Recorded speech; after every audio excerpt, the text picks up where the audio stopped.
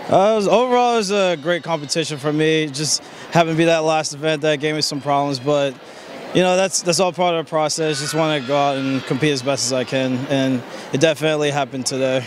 Uh, my mindset was just to stay on because I know if I if I hit this set, it'll, it'll, definitely bring up a pretty decent score. So I'm definitely going to take away how consistent I was throughout the whole meet. So I'm just going to, you know, go back in the gym and just work on a few things.